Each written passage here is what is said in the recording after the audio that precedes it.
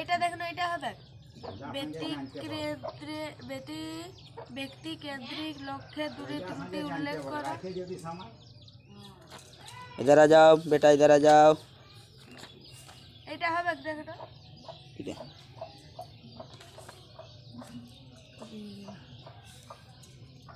ব্যক্তি কেন্দ্রিক লক্ষ্যের দুটি ত্রুটি লেখ। যে লক্ষ্যে এই যে এগুলা